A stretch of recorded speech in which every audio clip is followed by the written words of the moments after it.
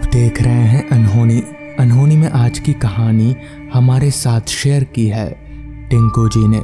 तो चलिए बढ़ते हैं आज की इस कहानी की ओर। गाँव के चौक पर बैठकर, अभी मैं और मेरा भाई, गाँव की दो चार दोस्तों से बातें कर ही रहे थे कि तभी गाँव के एक दोस्त बिरजू ने कहा, भाई, अब घर चलते हैं, अंधेरा भी हो गया है। अंधेरा होने के बाद घर से बाहर रहना ठीक नहीं होगा। बिरजू की बात सुनकर गाँव के बाकी दोस्त भी घर जाने के लिए उठ खड़े हुए उनको इस तरह करता देख और घर जाता देख मैंने बिरजू से कहा, क्या बात है बिरजू? आज तू इतना जल्दी घर जाने के लिए क्यों बोल रहा है? पहले तो हम लोग काफ़ी देर तक यहाँ बैठकर बातें करते थे और गाँव के बाहर आजकल रात को रहना ठीक क्यों नहीं है? इस पर बिरजू ने कहा भाई, तू आज ही शहर से गाँव आया है। गाँव में आजकल क्या क्या हो रहा है, तुझे क्या पता? इतना बोलकर बिरजू बोलता हुआ चुप हो गया। उसके चुप होते ही हम दोनों भाई एकदम से उसका चेहरा देखने लगे। कुछ देर तो बिरजू एकदम चुप सा था, फिर अपनी चुप्पी तोड़ते हुए बोला, आजकल गाँव का माहौल एकदम ठीक नहीं है। गाँव के काफ़ी लोग रात के वक्त मर रहे हैं, मगर मौत भी अजीब अजीब तरह से कोई नदी में डूबकर मर रहा है तो कोई ज़िंदा लाश जलकर। मगर सबसे तो एक बात समान है कि सभी लाशें अगली सुबह गाँव के चौक पर ही मिलती हैं। इसलिए हम सभी अब रात के वक्त घर से बाहर नहीं निकलते। पर तुम दोनों भाई, रात के वक्त कुछ भी हो जाए, घर से बाहर मत निकलना। जिस पर मैंने बिरजू से कहा, क्यों ऐसा क्यों हो रहा है गाँव में? मेरी बात सुनने के बाद बिरजू ने जवाब दिया आज से तीन महीने पहले हमारे गाँव में भानु काका रहा करते थे। तू भी भानु काका को जानता ही होगा, इस बार भानु काका के खेत में काफ़ी अधिक फ़सल उगे थे, मगर गाँव में भानु काका के कुछ दुश्मन भी थे, जिनको यह बात अच्छा नहीं लगा। पर एक रात उन्होंने भानु काका के खेत में फ़सल समेत आग लगा दी, जिससे उनकी सारी फ़सलें जलकर राख हो गईं। इस सदमे ने भानु काका को अंदर तक ठेस पहुँचाया। और उन्होंने आत्महत्या कर ली और उसी के बाद से गाँव में ये सब शुरू हो गया, मौत का खेल। बिरजू की बात खत्म होते ही बिरजू अपने घर की ओर चलता बना। बिरजू के साथ साथ बाकी गाँव के लड़के भी अपने घर की ओर चलते बने। मगर मैं और मेरा भाई इन सब बातों को नहीं मानते थे और हमें ना तो भूत प्रेत से डर लगता था, क्योंकि हमने आज तक भूत प्रेत को देखा नहीं था। इस पर मैंने अपने भाई से कहा, चल यार, मोहन काका के चाय की दुकान पर चाय पीकर आते हैं। और इतना बोलकर हम दोनों भाई गाँव से बाहर जाने वाले रास्ते की ओर मोहन काका के चाय की दुकान की तरफ़ आगे बढ़ने लगे। हमारे गाँव से मोहन काका की चाय की दुकान बस कुछ ही दूरी पर थी। तो करीब दस मिनट पैदल चलने के बाद हम मोहन काका की चाय की दुकान के पास पहुँच गए। तो वहाँ पहुंचकर मैंने देखा कि मोहन काका की चाय की दुकान बंद है और साथ ही साथ सभी दुकानें बंद हैं। मानो गाँव में मातम सा छा गया हो। दुकान बंद पाकर हम दोनों भाई वापस घर की तरफ़ आगे बढ़ने लगे। अब रात लगभग लगभग हो ही गई थी, जिस कारण रास्ता पूरी तरह से सुनसान और अंधेरे में डूबा हुआ था। रास्ते पर दूर दूर तक हम दोनों भाइयों के अलावा इंसान तो दूर कोई परिंदा तलक भी दिखाई नहीं पड़ रहा था। साथ ही साथ सन्नाटे ने तो पूरे रास्ते को इस कदर घेर रखा था कि हमारे पैदल चलने की आवाज़ काफ़ी तेज सुनाई पड़ रही थी। अभी हम आगे बढ़ ही रहे थे कि तभी अचानक मेरा भाई किसी चीज़ से टकराकर ज़मीन पर गिर गया। अचानक भाई को गिरता देख मैंने अपने भाई को उठाया, मगर मेरा भाई आखिर गिरा तो गिरा किस चीज़ से टकराकर? ये देखने के लिए मैंने जैसे ही अपने जेब से मोबाइल फ़ोन निकाला और फ़ोन की फ्लैशलाइट को जलाकर ज़मीन पर देखा तो मैं एकदम से हक्का बक्का रह गया, क्योंकि ज़मीन पर कुछ और नहीं, बल्कि इंसान की कटी हुई हाथें थी। ये देखकर मैं एकदम से चौंक गया। अभी मैं चौंक ही रहा था कि तभी एक कटी हुई हाथ मेरे भाई के पैर को पकड़कर उसे खींचने लगी। और खींचते हुए जंगल की ओर ले जाने लगी। अपने भाई को इस तरह खींचता देख मैं दौड़ते हुए अपने भाई की तरफ़ बढ़ने लगा, मगर वो हाथ मेरे भाई को इतनी तेज़ी से खींच रहा था कि मैं अपने भाई के पास पहुँच तक नहीं पा रहा था। तभी देखते ही देखते वो हाथ मेरे भाई को खींचता हुआ एक पेड़ के पास ले गया। मैं भी भागता हुआ उस पेड़ के पास पहुँचा और जैसे ही मैं पेड़ के पास पहुँचा तो मैंने देखा कि वो कटे हुए हाथ अब पूरे शरीर में बदल रही है और वो शरीर किसी और का नहीं, बल्कि हमारे भानु काका का ही था। ये देखकर मैं समझ गया कि आत्मा भानु काका की आत्मा है और अभी हम दोनों को मार डालेगी। हम समझ गए थे कि आज हमारा मरना निश्चित है कि तभी वहाँ पर हमारे घर वाले पहुँच गए। काफ़ी सारे लोगों के साथ एक साथ आता देखकर भानु काका की आत्मा हवा में धुआँ हो गई। क्योंकि काफ़ी रात तक जब हम घर नहीं पहुँचे थे तो हमारे घर वाले खोजते खोजते यहाँ तक आ गए। अगर हमारे घर वाले नहीं आते तो शायद आज हम ज़िंदा ना होते। तो इस तरह से उस रात हम दोनों भाइयों की जान बच गई। अब हम भूत प्रेत को मानते हैं और उनसे काफ़ी डरते हैं। तो दोस्तों, ये थी आज की पहली कहानी। आज की दूसरी कहानी में आगे बढ़ने से पहले, अगर आपने अभी तक हमारे नए चैनल डार्क टीवी को सब्सक्राइब नहीं किया है तो कर लें। लिंक आपको नीचे डिस्क्रिप्शन बॉक्स में मिल जाएगी, जहाँ हर शाम साढ़े सात बजे नई वीडियोस आती हैं। तो चलिए बढ़ते हैं आज की दूसरी कहानी की ओर। मेरी कार काफ़ी रफ्तार से उस रास्ते पर दौड़े जा रही थी। कार चलाते वक्त जब मैंने खिड़की से बाहर देखा तो बाहर का नज़ारा देखकर मैंने अपने कार की रफ्तार और बढ़ा ली, क्योंकि बाहर घुप अंधेरा छाया हुआ था और साथ ही रास्ते के किनारे लंबे पेड़ उस रास्ते को और भी ज़्यादा भयानक बना रहे थे। मैं जिस रास्ते पर आगे बढ़ रहा था, वो दोनों तरफ़ से घने जंगलों से घिरा हुआ था।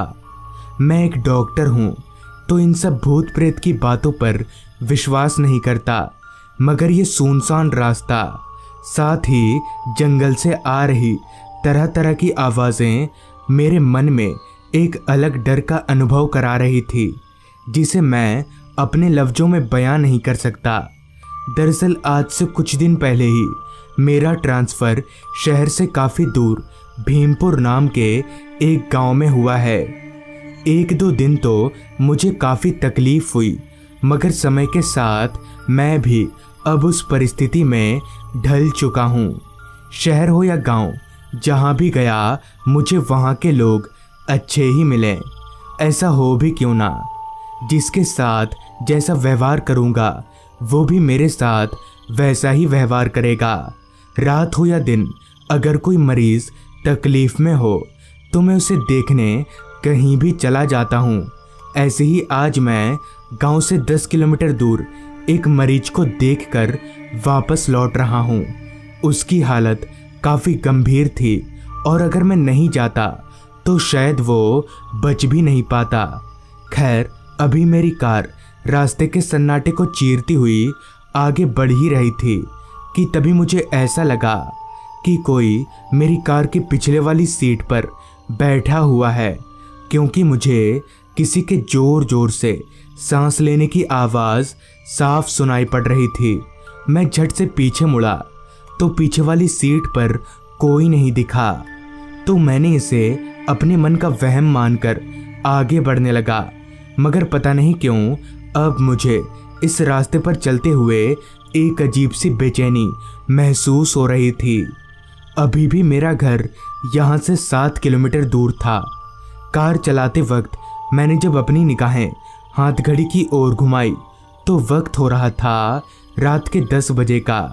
अभी मेरी कार उस सुनसान रास्ते पर दौड़ ही रही थी कि तभी पता नहीं मुझे और मेरी कार को किसी की नज़र लग गई कि मेरी कार एकदम से झटका खाने लगी और दो तीन झटकों में बंद पड़ गई। कार को इस तरह से बंद होता देख मैं सहम गया। मैंने दो तीन बार कार स्टार्ट करने की कोशिश की, मगर कार स्टार्ट होने का नाम ही नहीं ले रही थी, जिसके बाद मैं कार से बाहर निकला और कार का बोनट खोलकर देखने लगा। कार के बाहर निकलते ही मुझे कड़कड़ाती ठंड का एहसास हुआ। जितनी देर मैं कार के अंदर खिड़कियाँ बंद करके था तो मुझे उतनी ठंड नहीं लग रही थी। मगर बाहर आते ही ठंड ने मुझे ऊपर से लेकर नीचे तक हिलाकर रख दिया। अभी मैं कार चेक कर ही रहा था कि तभी मुझे एक आवाज़ सुनाई पड़ी। डॉक्टर साहब, उस आवाज़ को सुनकर मैं चौंक गया कि भला इतनी रात गए इस सुनसान रास्ते पर मुझे कौन पुकार रहा है। फिर जब मैंने अपनी निगाहें उस आवाज़ की ओर घुमाई तो मुझे घने अंधेरे में, एक पेड़ के नीचे, एक आदमी खड़ा हुआ दिखा। फिर भी मैंने उस आदमी को कोई जवाब नहीं दिया। ये सोचकर कि वो कोई गलत आदमी तो नहीं है। अभी मैं खड़ा ही था कि तभी उस आदमी ने दोबारा कहा, डॉक्टर साहब, आप मेरे साथ चलिए। मेरे पिताजी की तबीयत काफ़ी ख़राब है। उस आदमी के मुँह से ये सुनकर मैंने मन ही मन में कहा मगर इस आदमी को कहाँ से पता चल गया कि मैं रात के वक्त इसी रास्ते से गुजरूँगा? और क्या ये आदमी यहाँ खड़े होकर मेरा ही इंतज़ार कर रहा था? जिस पर मैंने उस आदमी से कहा क्या हुआ है आपके पिताजी को? और कहाँ है वो? जिस पर उस आदमी ने जवाब दिया। पता नहीं डॉक्टर साहब क्या हुआ है मगर उनकी हालत काफ़ी ख़राब है। आप मेरे साथ चलिए वरना कुछ भी हो सकता है। इतना बोलकर वो आदमी ज़ोर ज़ोर से रोने लगा। वैसे भी मैं उसे मना नहीं करता, मगर उसे रोता हुआ देखकर मैंने कहा, चलो, देखते हैं, क्या हुआ है तुम्हारे पिताजी को? इतना बोलकर मैं उस आदमी की तरफ़ चलता बना। वो आदमी जंगलों के बीच एक कच्चे रास्ते से पता नहीं मुझे कहाँ लेकर जा रहा था। थोड़ी दूर चलने के बाद भी जब उसका घर नहीं आया तो मैंने दोबारा से उस आदमी से कहा, और कितनी दूर है भाई तुम्हारा घर? जिस पर उस आदमी ने अपने हाथों को एक और इशारा करते हुए कहा, वो देखिए, वो जो दिख रहा है ना, वो मेरा घर है। उस आदमी के इशारा किए गए जगह पर मैंने जब अपनी नज़रें दौड़ाई तो हाँ मुझे जंगलों के बीच में एक घर दिखा, जिसके बाहर एक लालटेन जल रहा था। हम दोनों चलकर उस घर के करीब पहुँचे तो वहाँ पहुँचते ही उस आदमी ने कहा डॉक्टर साहब मेरे पिताजी अंदर ही हैं। आप चलिए मैं थोड़ा आता हूँ। इतना बोलकर वो आदमी जंगलों के भीतर चला गया। खैर मुझे तो मरीज़ को देखना था मरीज़ के घर वालों को नहीं। और अगर कोई ऐसा वैसा काम भी पड़ा तो वो आदमी बोलकर ही गया है कि वो अभी आ जाएगा। मैं चलकर उस घर के अंदर गया तो उस घर में बस एक मोमबत्ती जल रही थी। उसकी दबी सी रोशनी को अंधेरे ने चारों तरफ़ से घेर रखा था। घर के अंदर दाखिल होते ही मैं इधर उधर मरीज़ को ढूँढने लगा। घर के एक कोने में एक खाट पर एक बुज़ुर्ग आदमी सोया हुआ दिखा। मैं चलकर उस आदमी के करीब गया और उनसे बोला, क्या बात है चाचा? क्या हुआ है आपको? मेरे इतना बोलते ही उस आदमी ने आँख खोला और कहा अरे डॉक्टर साहब आइए आइए बैठिए। क्या बताऊँ क्या हुआ? उस बुज़ुर्ग आदमी के मुँह से ये सुनकर मैं समझ गया कि अब ये मुझे अपनी बीमारियों का एक लंबा चौड़ा चिट्ठा सुनाएगा। आगे उस बुज़ुर्ग आदमी ने कहा क्या आप मुझे ठीक कर पाएँगे? ना आप नहीं कर सकते साहब मुझे ठीक। जिस पर मैंने कहा। अरे चाचा मुझे एक बार देखने तो दीजिए हुआ क्या है? इस पर उस बुज़ुर्ग आदमी ने कहा। जैसी आपकी मर्ज़ी डॉक्टर साहब।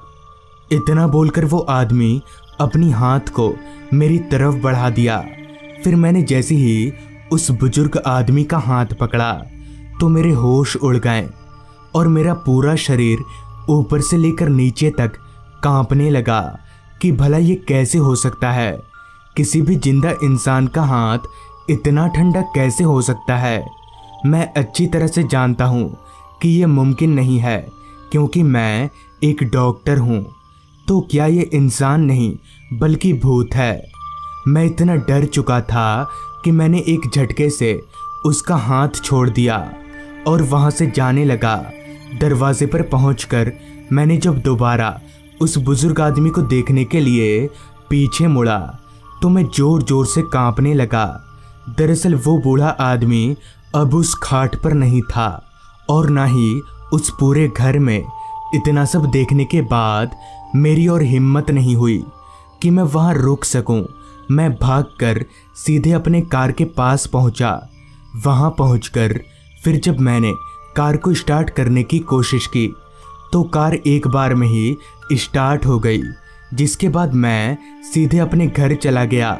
सुबह एक दो लोगों से पूछने पर पता चला कि आज से दो साल पहले उस आदमी की काफ़ी तबीयत खराब थी, मगर उस समय जो डॉक्टर थे, उन्होंने बिना पैसों के उनका इलाज नहीं किया, जिस कारण उनकी मौत हो गई। और अगर मैं उसकी मदद नहीं करने जाता तो वो भूत मुझे भी मार देता। तो दोस्तों, ये थी आज की कहानी। अगर आपको ये कहानी अच्छी लगी हो तो चैनल को ज़रूर सब्सक्राइब करें।